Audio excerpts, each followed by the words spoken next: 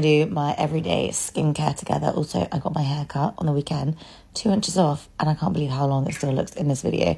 Anyway, I'm using these two Vichy products. The first one I use, I have been using it for about over a year, and I absolutely swear by it. I absolutely love it, love it, love it.